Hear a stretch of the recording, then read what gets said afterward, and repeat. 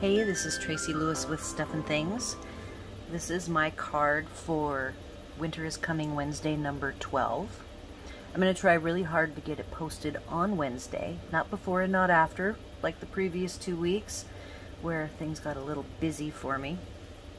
I have actually a second card I'm going to talk about, uh, and this one is more of a, just a die cut exercise. There's no fancy techniques involved. I heat embossed white on vellum and then I die cut the other holly leaves using the die cut and the center piece that has the the little veins in the leaves.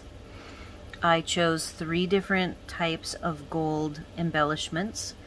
The gold metallic balls, the little floral gold elements is from the Poppy sequin set from last year. And then this gold sequin that doesn't have a hole in the middle is the bulk set of this year in the holiday catalog. I can't remember what it's called, but it comes with four different colors and you get bulk sequins to use in shaker cards. And with the round gold wreath shape. I just wrapped the wreath twice and then made it extra long so I could tie the bow. And then I actually already had the Merry Christmas on and I painstakingly stuffed the wreath underneath. I highly recommend that you already have your wreath shape done and put it on before.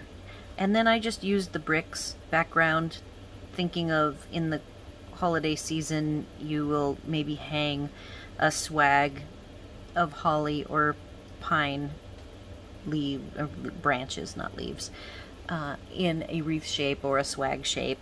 I did not use anything behind this to make my shape. You could use a strip of paper and make your shape off of the card base. Another trick if you're doing a wreath shape with small items is to cut a circle the size of your wreath and use that as a guide. Don't attach your items to it. You stick them to each other. You could even add, make a, a ring if you wanted using two different sizes of dies, circle dies. Uh, to add as to make it a base and if they're big enough you can stick it actually on the base itself and that is pretty much it. Now on the inside, you'll see I have holly. These are stamped with gold, though you could pick a really close color to gold instead if you didn't have any. This is the gold is from last year's holiday catalog. It is actually quite dry. I was at my mom's and I didn't have my re-inkers with me, so this came out quite soft, which is actually nice, and, and I didn't want it to be too bright anyways, so it worked out well. You could use honeybee, crushed curry. Those two colors would make a nice goldish looking uh, stamped inside. And then I also did the same thing on the envelope. I just did two soft gold hollies. So that's the first card. The second card actually has been posted. I did it a long time ago, earlier in the summer, I think. But I, I want to talk about it and I'll repost it here because of the technique that I used. We were doing white and I didn't have any white. My white had dried out and I had no re-inker. So what I used is a non-Stampin' Up! product that I just really think is easy to use on cardstock. It is, they're chalk pencils. So these are white chalk pencils giving all of the accents and you know I used the white chalk little dots close to the darkest if you make it close to the darkest color you get the best contrast. So this will be one of my Thanksgiving cards that I will use and the white I really like the faceted white dots with this. Now my mom's um, take on this was she wanted to see more color. She would have liked to have seen something gold, but my goal with this card was to just have it be monochromatic, only with a little bit of the white, and that's why I did the white. vertical strip on the side.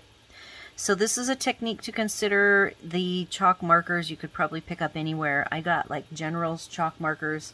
That's what Libby had, and they were very inexpensive. And I do hope that at some point Stampin' Up! will choose to carry chalk markers even over the colored pencils.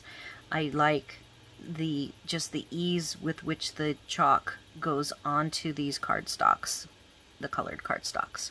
That's all I got. Leave your comments, questions, and suggestions in the YouTube comments or on my blog where I will have all of my products that I used. All the supplies will be posted there. Love to hear from you guys and I'm doing really well. I think very soon here, this is the end of the month, so maybe the start of October I will uh, do a Winter is Coming Wednesday where I just go over and reveal all of the cards that I have made over the last 12 weeks and see where we're at for the count and how many more I have to make. So we'll see you next week, and thanks for watching.